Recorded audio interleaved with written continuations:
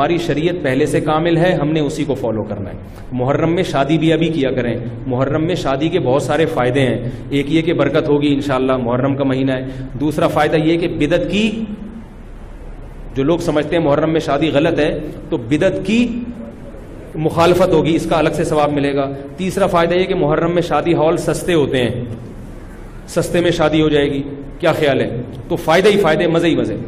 और रहा ये मसला कि मुहर्रम में शादी हुई और खुदा न ख्वास्ता नाकाम हो गई। अब लोग ये भी करते हैं। नाकाम होने कह रहे मुहर्रम में हुई थे ना इसलिए।